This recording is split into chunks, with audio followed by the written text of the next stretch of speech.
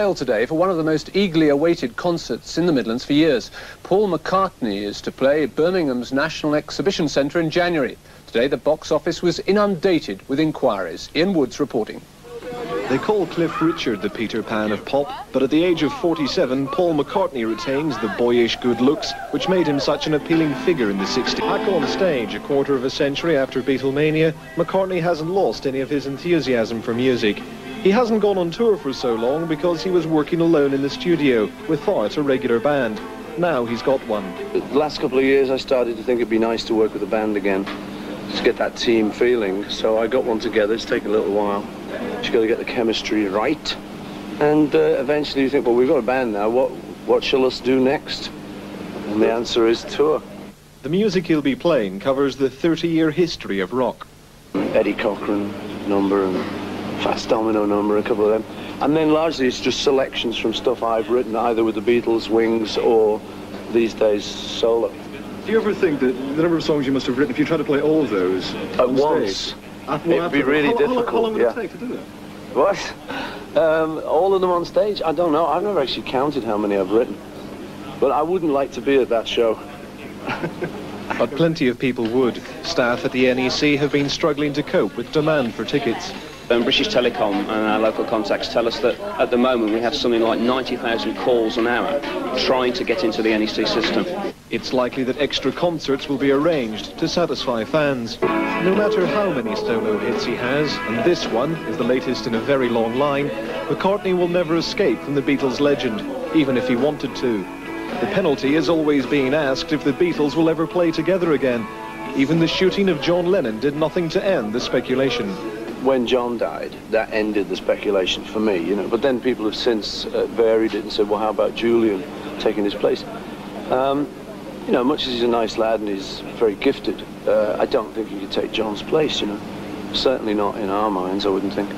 Um, the Beatles was, you know, and it was a great thing, and it's over, you know. The members of his band won't be the only people accompanying McCartney on tour.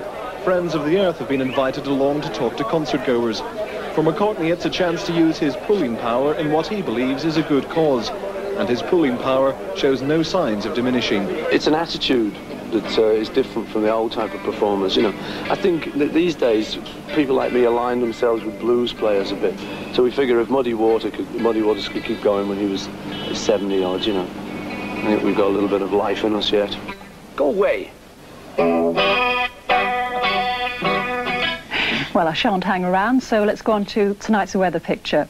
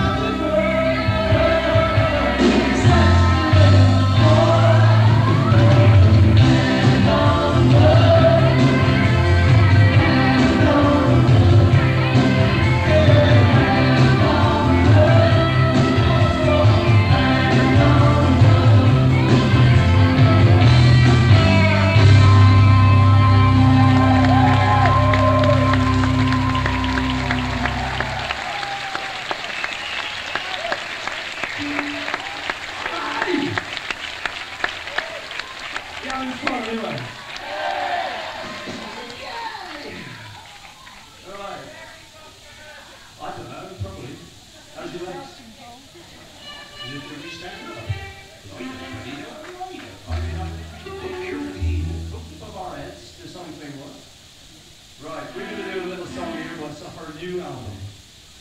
Why am I talking in this funny accent? I don't know.